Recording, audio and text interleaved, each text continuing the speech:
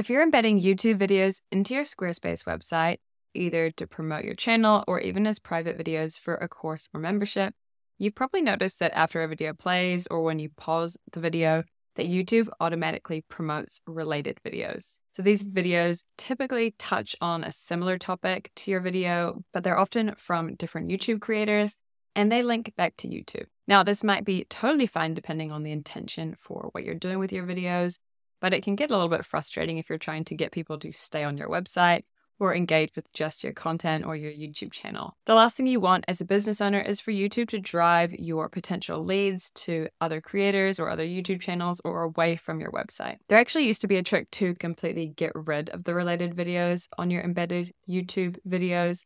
But YouTube caught on, I think, and made that impossible. But you can still use this hack to promote only your YouTube related content instead.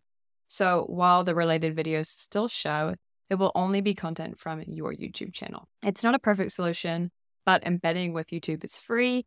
You get free video hosting, which you can't really get anywhere else. So it's a bit of a compromise. So I'm going to show you that little trick now. It's pretty easy, so let's jump right in.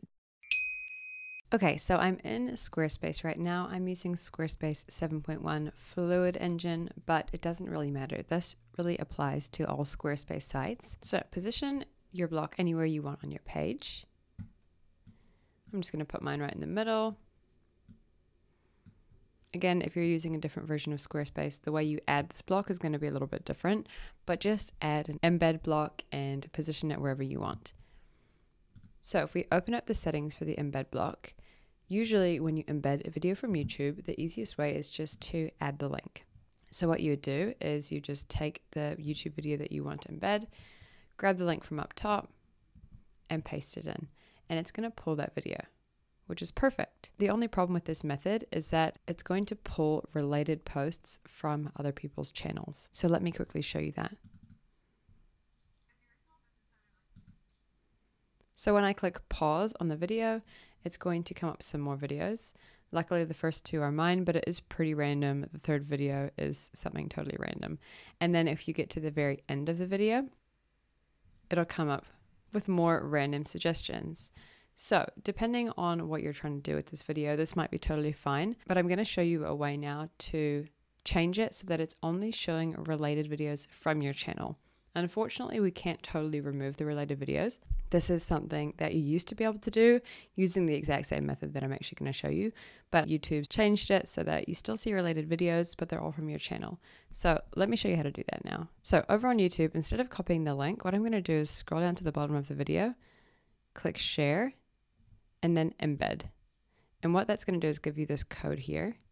So click on the code and copy it. Then over on your website, you're going to open up the embed block settings again. Let's remove that URL and then click on code snippet. Click embed data, paste the code in, and you'll notice it's going to pull your YouTube video very similarly to how it did before. So now there's two final things that we need to do to make this work. The first thing is we need to add a little bit of text at the end of your video URL. So you can see I've highlighted this here. It's the youtube.com slash embed slash, and then it will have a random string of numbers. And it's in between these two quotation marks. So what you want to do is put your cursor right in between that final letter and the final quotation mark. And you're going to type in question mark R E L equals sign and the number zero. So question mark REL0. So I've added that there and you can see it's in between the final letter or number and the final quotation mark. So that piece right there, that's going to change it so that the related videos are only coming from your channel and it's not showing your video watchers other people's channels. So let me quickly show you how that looks now. We've added the code. So you can see now when I hit pause on the video, it's only showing videos from my channel. And it's showing a lot of videos from my channel, which is awesome. And then if we skip to the end, let's have a look at those related posts at the end. Again, they're only from my channel now. So that's perfect. The final thing that we need to do, which is really important, is we need to set a cover image for this because unfortunately, when you use that YouTube embed code, the video block doesn't scale correctly. I'll show you when I move the screen around. You'll see that the video block doesn't stay in the middle it holds its size the whole way, so much so that it just gets totally cut off. I'll show you what it looks like in mobile view. You can see it's totally cut off here. So it's basically just staying the same size. It's not in the center, which is not ideal. You know, we need it to scale proportionally with the screen size. Now, there's a bunch of different fancy codes that you can add to do this, but the easiest way by far to fix this problem in Squarespace is to open up that embed block again and add a custom featured image. So basically here you're going to add a thumbnail to your video. So if you're using videos from YouTube anyway, it's likely that you've already created a thumbnail. So for example, you can see I've actually already got a thumbnail for this. If I uploaded it here, that would be perfect. But you can really upload anything. It depends how you're using these videos. But if you add something, I'm just going to select something totally random from my library.